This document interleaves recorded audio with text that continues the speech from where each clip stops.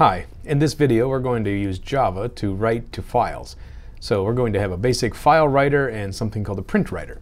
So I'm in the Eclipse uh, code editor and let's try a new project. So I'm going to name my project as activity 4-2-write. So I'll create a new class and I'm going to call it demo writing to files 1.java and I'm going to check the main method. So if you're going to write to a file in Java, you need to have three different classes. First of all, you need to create a file class. Then you need to create what's called a file writer class. And then inside of that class, you're going to use a print writer class. So you have to create all three of these first, and then you can start printing things to a file.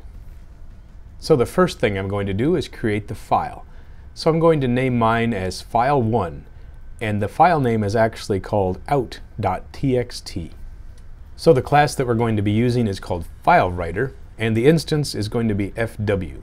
It references the file that I just created in step one. Let's make sure that we import the libraries again. And now we have an issue. It says you have an exception, an IO exception, and let's add that to our main method. And so up here at the top it says throws IO exception. That's in case there's no file and it doesn't have the ability to open it. And so the third item is called a print writer class. So print writer is the class name. I'm going to use PW for the instance name and it needs the uh, previous uh, class as an input to create this uh, constructor. So FW is in parentheses.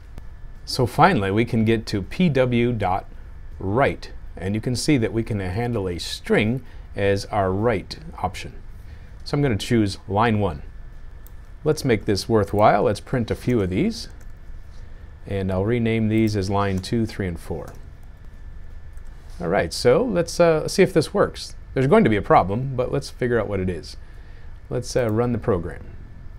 So, no output here. So it didn't print anything to the console.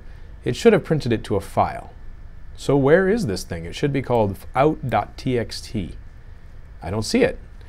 All we have to do is refresh our page here. So let's go to right click and is there a refresh? There is. You can press F5 or refresh and sure enough, there is a new file called out.txt. Let's open it.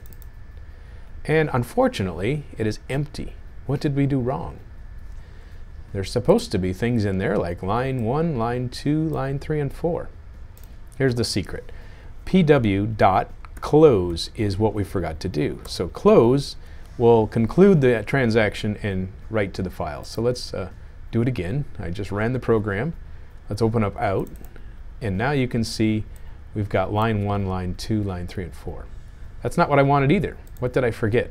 So instead of using dot write, let's go to, let's try something else. Let's do a dot, and it looks like print line, print ln is what I'm looking for. So I will print line instead of write.